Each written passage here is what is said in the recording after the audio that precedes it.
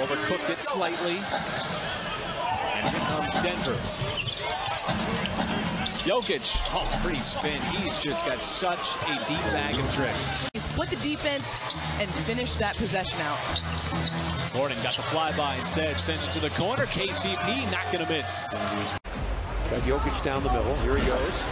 And it's going to Nikola Jokic with his 13th point.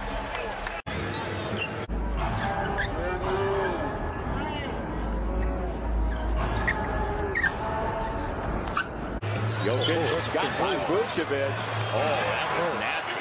I'll tell you what, that was a quick first step for the big fella. Three for three from the field. Clippers five of eight overall. Gordon posting on Coffey, twisting into a double team. It's leaving Jokic open, and the two-time MVP floats it home.